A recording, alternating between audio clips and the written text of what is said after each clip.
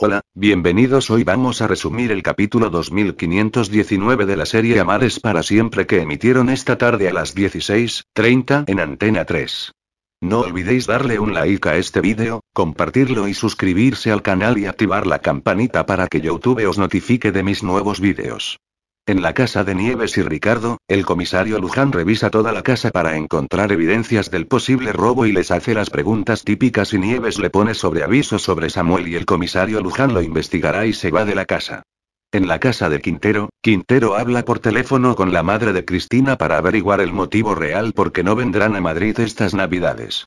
Cuando cuelga habla con Bisi sobre lo de los padres de Cristina y no vienen porque se han arruinados, pero al final van a venir. Y el motivo real es que el socio del padre se ha enterado que Cristina es la presidenta de la API, que es un partido de izquierdas y eso no le gustó al socio del padre de Cristina que lo dejó tirado. Al final vienen porque Quintero les va a dejar el dinero para los billetes.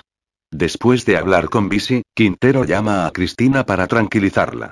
En el Kings, Lorenzo está en la barra hojeando la libreta, donde apuntó todo lo que le contó Marcelino sobre fútbol para ligar con Fito.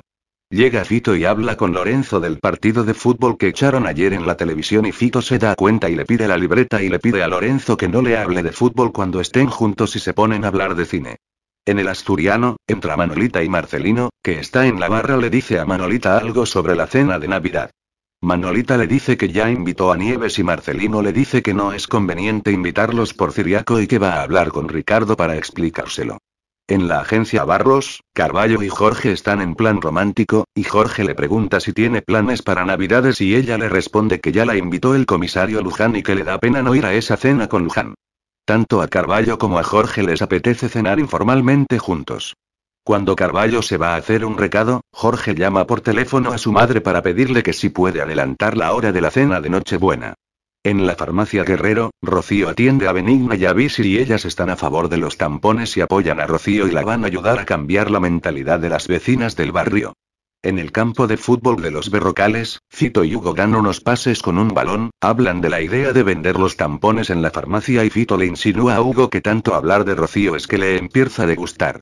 En el asturiano, Marcelino habla con Ricardo sobre la cena de Nochebuena, pero Ricardo la rechaza por sus hijos. En el despacho, el comisario Luján recibe la visita de Jorge y le advierte que tenga cuidado con los tres reyes magos que pueden ser cualquiera. En esto, entra un policía y el comisario Luján sale un momento de su despacho y Jorge aprovecha para hojear unos papeles que había encima de la mesa y encuentra una tarjeta de un anticuario, copia los datos del anticuario en un papel y se lo guarda en el bolsillo de la chaqueta justo antes de que volviese el comisario Luján. En los berrocales, en una mesa están sentados Albertito, Andrea y la pareja de amigos de Albertito que se van a casar y la novia le dice a Andrea que le gusta el primer boceso de su traje de novia. Albertito elogia el trabajo de Andrea y le propone montar un taller de moda en el nuevo centro comercial que está construyendo el padre de Albertito. En la farmacia Guerrero, Benigna y Bisi le traen a varias chicas para que les explique las ventajas de los tampones a diferencia de las compresas y se los compraron todos y Rocío le da las gracias Benigna y a Bisi, en ese momento, llega Hugo y medio discute con Rocío por culpa de los tampones y le revela el motivo real porque no le gusta que Rocío venda los tampones en la farmacia porque a Doña Paz no le gustaría que en su farmacia se vendieran chorradas en vez de medicamentos y Hugo se va enfadado. En casa de Quintero, Quintero se reúne con Sancho para hablar sobre la donación del partido y sobre el divorcio de Sancho y Quintero le aconseja que luche hasta el final por su matrimonio.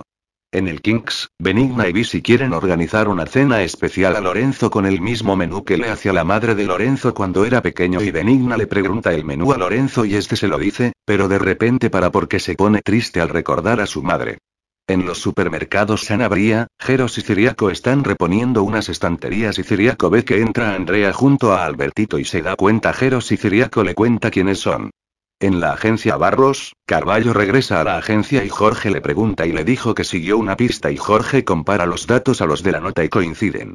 En el Kings, Sancho se reúne con su mujer y ésta le pregunta si trajo los papeles del divorcio y Sancho le dice que y hablan sobre los problemas de su matrimonio. Sancho le pide una segunda oportunidad pero Carolina le dice que no, pero Sancho le pide dos días para que pueda demostrárselo. En casa de Nieves y Ricardo, un cerrajero para cambiar la cerradura y llega el comisario Luján para decirles que fue Samuel quien entró en su casa y se va.